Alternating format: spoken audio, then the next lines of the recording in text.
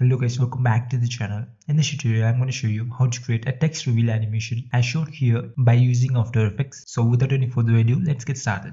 Create a new comp with the same resolution as of the video which you are going to edit. Now let's import the video clip. Let's zoom into the subject.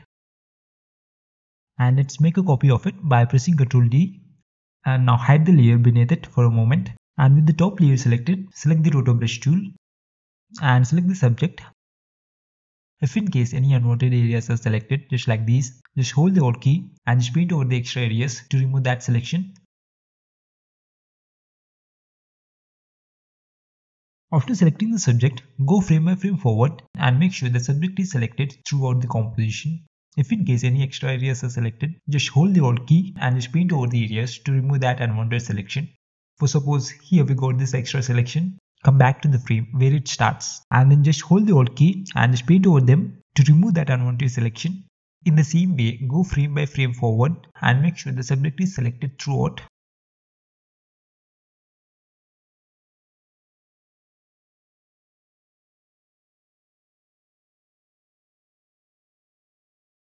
Yeah, the selection was perfect. Here at the beginning there is still some unwanted areas to remove. Yeah, now it's perfectly alright. Save the project file.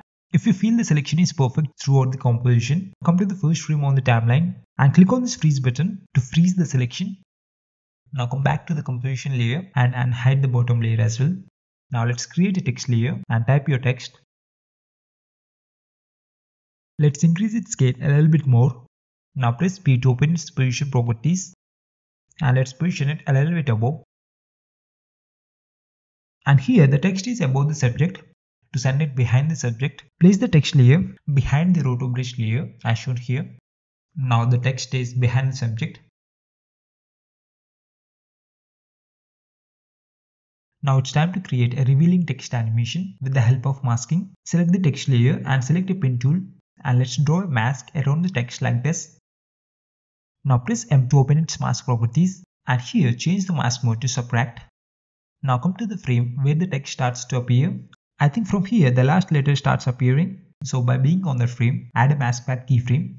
Make sure these two handles needs to stay on the subject throughout the composition. Select the selection tool and now select these handles. Now move one more frame forward by pressing the page down key and make sure these two handles stays on the subject now we need to do the same process over and over frame by frame throughout the composition.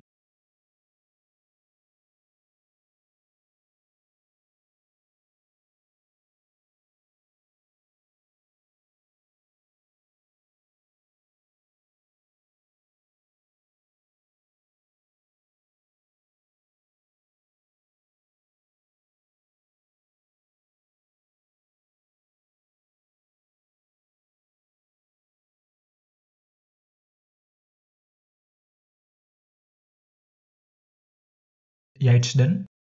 Yeah here we go. This is the final preview. I hope you found this video helpful and thank you so much for watching